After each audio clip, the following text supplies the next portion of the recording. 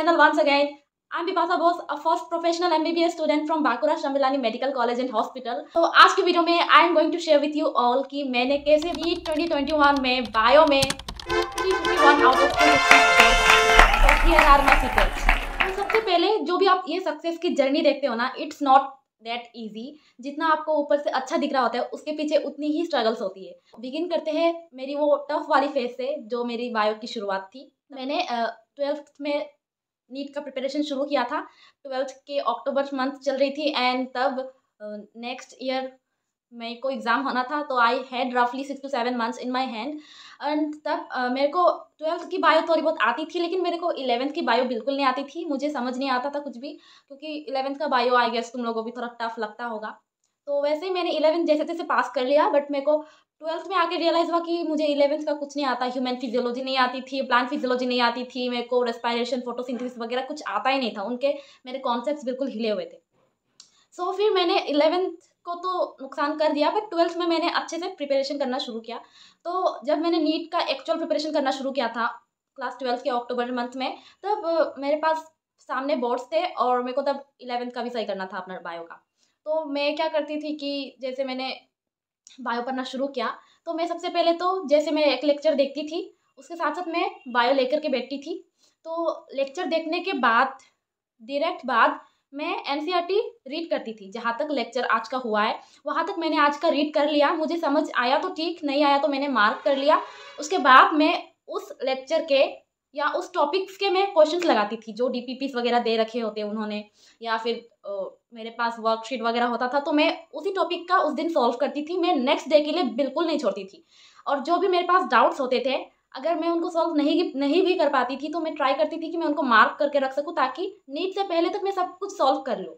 तो ये आप गलती मत करना कि डाउट्स को पाइल अप करके मत रख रख लेना, क्योंकि अगर डाउट एक बार सॉल्व हो गया तो हो सकता है कि वो वाला क्वेश्चन आपका नीट में नंबर बेटर कर दे।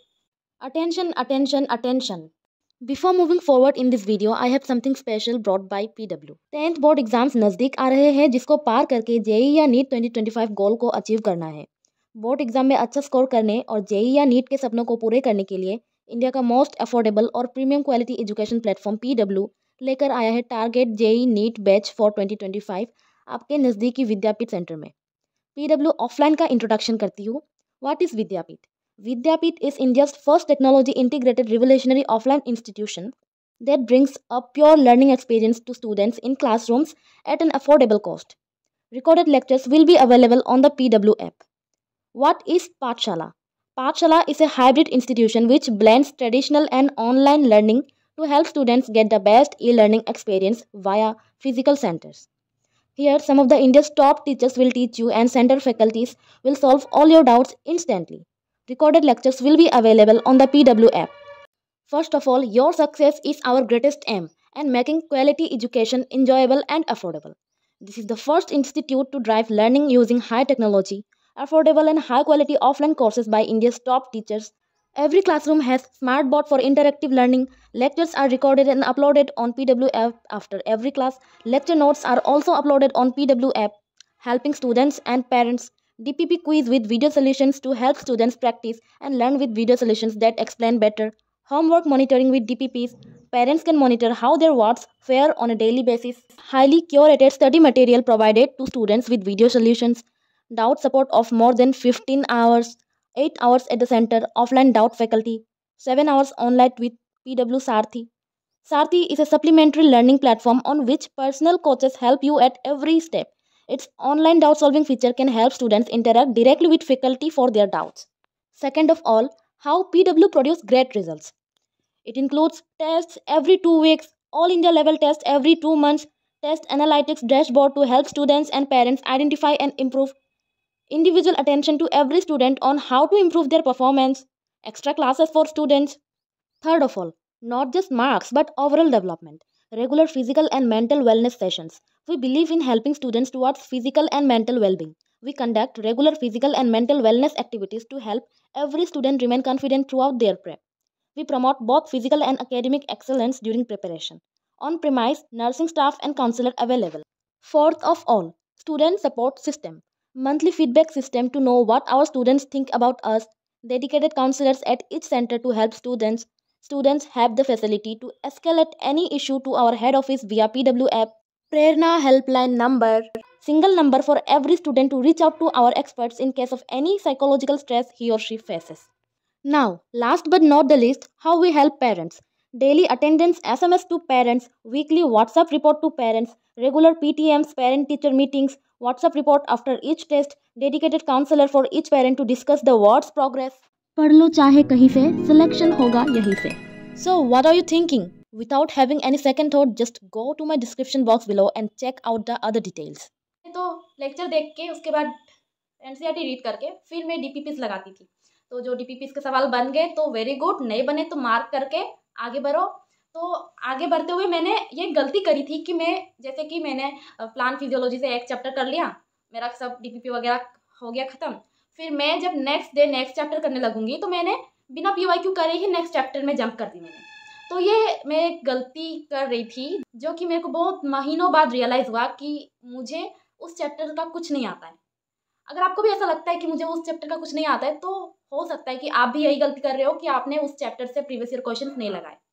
तो फिर से मैंने क्या किया कि देखती हूँ तो मेरे को आता है कि नहीं क्वेश्चन सॉल्व करना। तो मैंने प्रीवियस ईयर क्वेश्चन उठा के देखा और माय गॉड मेरे से सॉल्व नहीं हो रहा था। तब जाकर के मैंने उस चैप्टर को फिर से रीडिंग करी। मैंने डीपीपीज लगा रखा था, फिर भी मेरे को नहीं आता था, क्योंकि मैंने प्रीवियस क्वेश्चन नहीं किया था। तो एक चैप्टर करने के तुरंत बाद आपको उस चैप्टर के क्वेश्चंस करने हैं, उसके साथ साथ आपको तुरंत आपको प्रीवियस ईयर क्वेश्चंस भी लगाने हैं। तभी आप नेक्स्ट चैप्टर को शुरू करने के बारे में सोचना। वरना ऐसा होगा कि आप आगे बढ़ते तो जा रहे हो, लेकिन आपको कुछ आता नहीं है। आपको लगेगा कि मेरा वो उस चैप्टर में कॉन्फिडेंस ही नहीं आ रहा है। तो ये आप करना। प्रीवियस ईयर क्वेश्चन करना। मैक्सिमम क्वेश्चन आपके बनेंगे एंड जो नहीं भी बन रहे हो तो आप उसको मार्क करके रखना। और हाँ प्रीवियस ईयर क्वेश्चन सॉल्व करते करते आपको रियलाइज़ हो जाएगा कि इस चैप्टर से, इस पार्ट से बहुत सारे क्वेश्चंस बनते हैं। मैंने ये रियलाइज़ करा sexual reproduction in flowering plants class twelfth की टॉपिक से जो है, वो वाला चैप्टर से बहुत सारे क्वेश्चन आते, चार पाँच क्वेश्चन आ जाते थे। तो मैंने उसको बहुत ज़्यादा इंपॉर्टेंस दिया। उसके बाद भी बहुत सारे ऐसे चैप्टर्स थे जो कि बहुत ईजी टू रीड था, पर मैंने उनको इग्नोर कर दिया। ये सोच के कि मेरे को आता है। पर एक बार प्रीवियस क्वेश्चन लगा के देखो तो आपको पता चल जाएगा कि उस चीज़ का कितना इंपॉर्टेंस है और उसको आपको कितना टाइम देना चाहिए। कुछ कुछ टॉपिक्स ऐसे हैं फोटोसिंथेसिस रिस्पायरेशन में वो मुझे ना जितने भी बार मैंने प्रीवियस क्वेश्चन किया, मैंने जितनी भी बार रीडिंग करी, मुझे फिर भी उसमें उतना कॉन्फिडेंस नहीं मिलता था। तो उसके लिए मैंने क्या कि उस पर मैंने एक्स्ट्रा क्वेश्चन ज़्यादा सॉल्व कर लिए और ये भी बात पता था कि उसमें एक दो क्वेश्चन से ज़्यादा क्वेश्चन तो आते नहीं थे। तो इसीलिए मैंने उस पर थोड़ा कम फोकस करा क्योंकि हो सकता है कि वो क्वेश्चन टफ आ जाए। और मैं इसी के चक्कर में सारा चैप्टर अपना लॉस कर लूँ। उससे अच्छा है कि जो जो ज़्यादा वेटेज रखता है, उस पर ज़्यादा फोकस करो। और जो डिफ़िकल्ट है, उसको कॉन्सेप्ट क्लियर करके, उसके एक्स्ट्रा क्वेश्चन लगा के प्रीवियस क्वेश्चन लगा के, फिर नेक्स्ट चैप्टर में आगे बढ़ जाना चाहिए। ज़्यादा वेटेज वाले चैप्टर्स को सबसे पहली प्रायोरिटी में रखना, उसके बाद जो थोड़े इजी से है और मॉडरेट लेवल के क्वेश्चंस बनते हैं, उसको करना। और जो सबसे डिफ़िकल्ट लेवल के क्वेश्चंस आते हैं जहाँ से, और कम नंबर ऑफ़ क्वेश्चंस आते हैं तो उस पर आप थोड़ा कम फोकस भी डाल सकते हो। तो हो सकता है कभी कभी ऐसा होता है कि लक भी काम करता है। इस चैप्टर से आपको बहुत ईजी वाला क्वेश्चन मिल गया एंड उसको आपने पढ़ ही नहीं रखा था। तो किसी भी चैप्टर को छोड़ के बिल्कुल नहीं जाना है। नीट ऐसा एग्ज़ाम है कि उसमें आपको हर चैप्टर से क्वेश्चंस मिलेंगे। एग्ज़ाम में ऐसा नहीं होगा कि हर एक चैप्टर से डीप क्वेश्चंस करेंगे। मान लो कि आपने डिफ़िकल्ट वाले चैप्टर्स को कर लिया या फिर इजी वाले चैप्टर्स को ही कर लिया। इसमें आपको कौन गारंटी देता है कि इसी चैप्टर से क्वेश्चंस आएँगे और इससे नहीं आएँगे?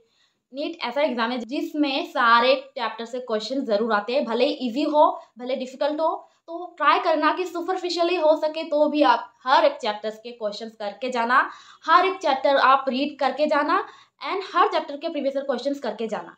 अगर आप प्रीवियस ईयर क्वेश्चंस दो तीन बार लगा लोगे एग्ज़ाम तक, तब तब आपको पूरा नॉलेज हो जाएगा कि इस चैप्टर से, इस टॉपिक से मुझे करके जाना ही चाहिए। ये हो गया कि मैंने ये सब कैसे किया था। फिर कुछ कुछ जो मुझे बहुत प्रॉब्लम लगता था, वो था कि एन की लाइन्स समझ में नहीं आ रही हो, या फिर बहुत याद करना पड़ रहा है उस लाइन को। तो वैसे क्वेश्चंस को, या फिर वैसे लाइन्स को तो मैं कुछ कर नहीं सकती हूँ। बार बार रीड करा बार बार रीड करा, एक बार रीड करने पे दिमाग में कुछ घुसा नहीं। सेकेंड बार रीडिंग करी तो कुछ उतना नहीं आया, लेकिन थर्ड बार फोर्थ बार फिफ्थ बार करते करते वो चीज़ दिमाग में छपने लगा है। तो आपको एन e की रीडिंग इतनी बार करनी है, इतनी बार करनी है, इतनी बार करनी है कि दिमाग में आपके एन e के लाइन्स छपने चालू हो जाए। अगर आपने ऐसा करना शुरू कर दिया, आपको बायो में अच्छा करने से कोई नहीं रोक सकता। देख फिजिक्स एंड केमिस्ट्री बहुत लोग बोलते हैं कि ये हाथ में नहीं रहता है। तो मैंने सोच लिया था कि मुझे बायो में पूरा कॉन्फिडेंस लाना है। हो सकता है बायो में हार्ड क्वेश्चन आ जाए, हो सकता है बहुत ईजी क्वेश्चन आए, लेकिन मेरे हाथ में प्रिपरेशन करना लिखा है। तो मेरे को अपना हंड्रेड एंड टेन परसेंट पूरा डालना है, ताकि मेरे से कोई कमी ना रह जाए प्रिपरेशन में। तो मैं लास्ट लास्ट तक सिर्फ़ एनसीईआरटी रीड करती जाती थी, करती जाती थी। लास्ट के एक महीने में तो मैंने एनसीईआरटी को कई बार रीड कर डाला। मैंने एक एक दिन, एक एक चैप्टर रीड करने में लगाया। उसके बाद मैंने उसके सारे क्वेश्चंस लगाए, जितने सारे क्वेश्चंस बन सकते थे। एक चैप्टर से मैंने कम से कम 100 200 क्वेश्चन लगा रखे थे। वो भी आलतू फालतू क्वेश्चन नहीं, जो एनसीईआरटी रेलिवेंट क्वेश्चन हो एंड प्रीवियस क्वेश्चन हो। तो लास्ट के दो तीन महीने में ना आपको टाइम नहीं मिलेगा कि आप कॉन्सेप्ट अपना बिल्ड करो। तो तब अगर आपके पास टाइम ना भी बचे तो कॉन्सेप्ट के पीछे भागने से अच्छा है कि तब आप एनसीईआरटी बार बार रीड करते जाओ बार बार रीड करते जाओ। अगर लाइन समझ में ना आए तो आप यूट्यूब के हेल्प से लाइन्स को अंडरस्टैंड करना डिफ़िकल्ट क्वेश्चन को थोड़ा समझना, उसके बाद आगे बढ़ना। ब्लाइंडली किसी को भी फॉलो मत करना। ब्लाइंडली आपको मुझे भी फॉलो करने की कोई ज़रूरत नहीं है। जो मैंने किया था, वो बस मैं आपको बता रही हूँ कि पहले कुछ महीनों तक मैंने अपने कॉन्सेप्ट पर काम किए, जो मेरे को बिल्कुल नहीं आता था, उस पर काम किया, क्योंकि बिना कॉन्सेप्ट बिल किए आगे बढ़ना थोड़ा मुश्किल होता है स्पेशली डिफ़िकल्ट चैप्टर्स पे, और जिस पे याद करने की ज़्यादा ज़रूरत होती है, उस पर आपको टाइम ज़्यादा लगानी पड़ेगी एंड हो सके तो आपको flash cards trip tricks and tips वगैरह आपको चाहिए हो सकता है तो उसके लिए मैंने अपना दिमाग तो बिल्कुल इस्तेमाल नहीं किया, क्योंकि मैं ट्रिप्स ट्रिक्स एंड टिप्स बनाने लग जाऊँगी तो फिर मैं खुद ही भूल जाऊँगी। तो मैंने क्या किया बायोलॉजी एट ईज एक करके चैनल है, वहाँ से मैंने बायो के जितने भी ट्रिक्स होते हैं प्लांट किंगडम एनिमल किंगडम वहाँ वहाँ से मैंने अपना बायो एंड बायो का पूरा जो मुश्किल है, याद करने लायक वाली चीज़ें मैंने वहाँ से करा था, और मेरे को सच बोलूँ तो बहुत बहुत हेल्प करा था। उसके बाद मैंने जब बिल्कुल हार मान लिया कि मेरे से ये चैप्टर्स नहीं हो रहे ना ही हो रहे मैं रात रात तक जग के बहुत ट्राई करती थी लिटरली मैं बहुत ट्राई करती थी कि मेरे ये क्वेश्चन या ये चैप्टर सॉल्व हो जाए। रात दो तीन बजे तक मैं जागती रहती थी रिस्पायरेशन फोटोसिंथेसिस मेरे से नहीं हो रहा था। फिर मैंने क्या आ, कि रक्षिता सिंह का मैंने वीडियो देखा जिसपे उन्होंने याद करने के ट्रिक्स बता रखे थे। ग्लाइकोलाइसिस वगैरह क्रेप साइकिल वगैरह आपको ईजी लगता होगा। हाँ डिफ़िकल्ट नहीं है उतना लेकिन पता नहीं एट द टाइम मेरे को क्या हुआ कि मुझे नहीं समझ आ रहा था कि उसको कैसे करना चाहिए। और प्रीवियस क्वेश्चन करके भी उतने आइडिया नहीं लग रहे थे कि ऐसे ही टाइप के क्वेश्चन आएँगे।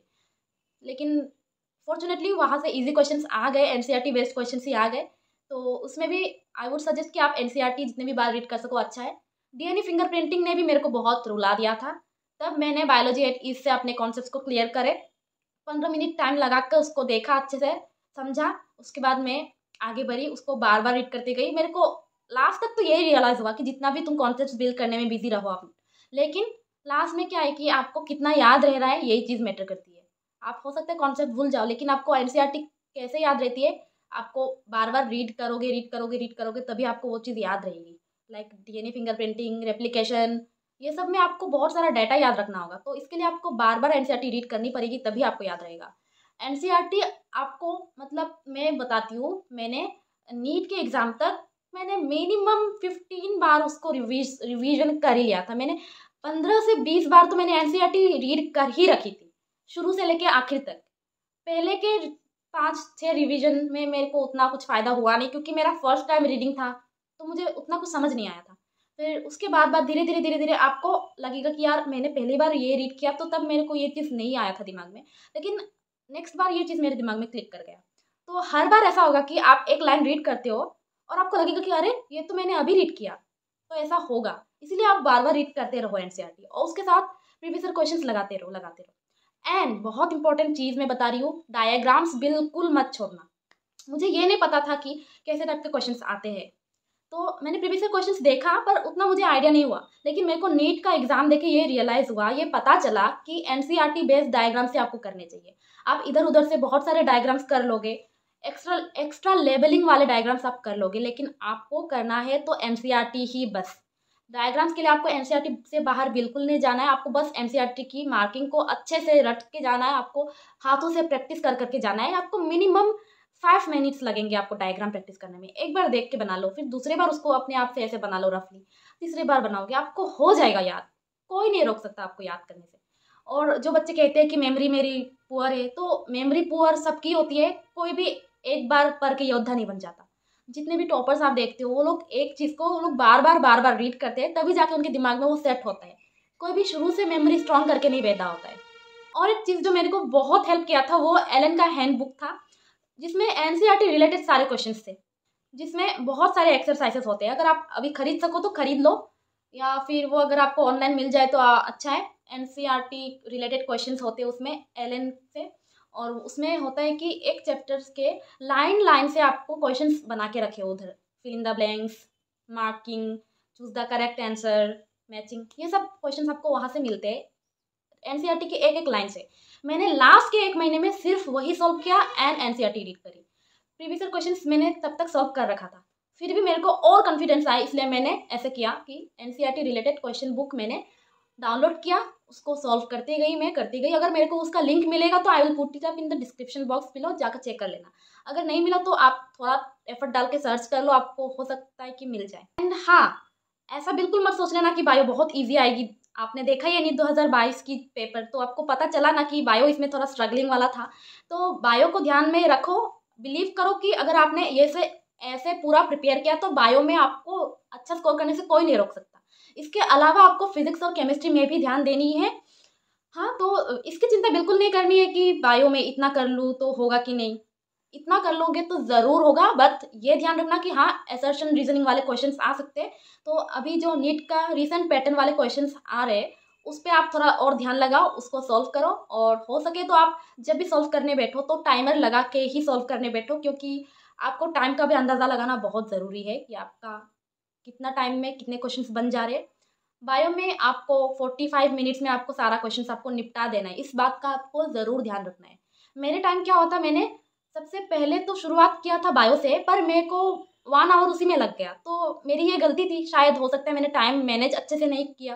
तो ये चीज़ आप सुधार लेना कि आपको बायो में कम से कम टाइम लगे, ताकि आप बाकी सब्जेक्ट्स को भी ध्यान से कर सको। क्योंकि हो सकता है बायो आपको सिलेक्शन दिला दे बट रैंकिंग आपको फिजिक्स एंड केमिस्ट्री से भी मिलेगी। लेकिन सबसे पहले तो आपका प्रायोरिटी होना चाहिए कि syllabus completion and revision and previous questions and test ये ये सारी चीज़ें आप अच्छे से करना एन e के साथ साथ, रोज़ रोज़ एन रीडिंग e करना। एक भी दिन एन e को स्किप मत करना। और या तो मैंने अपना ये सोचा था कि मेरे को बस सिलेक्शन चाहिए। जैसे भी हो मेरे को बस सिलेक्शन चाहिए, जो कि मेरे को मिल गया। और मैं ये मानती हूँ कि बायो ने ही मेरा सिलेक्शन करवाया। मेरा रैंक उतना कुछ खास नहीं आया, क्योंकि फिजिक्स एंड केमिस्ट्री में उतना अच्छा स्कोर नहीं कर पाई। लेकिन अगर सिलेक्शन भी हुआ है ना तो भी मैं बायो को ही क्रेडिट देती हूँ। एंड शायद मैंने ये चीज़ें फॉलो कर रखी थी, इसलिए मैं आज इस जगह पे हूँ कि मैं आपको गाइड कर सकूँ कि ऐसे करना और वैसे मत करना। तो I hope it was helpful for you all so मिलते हैं नेक्स्ट वीडियो में. Till then take care bye bye see I have a great day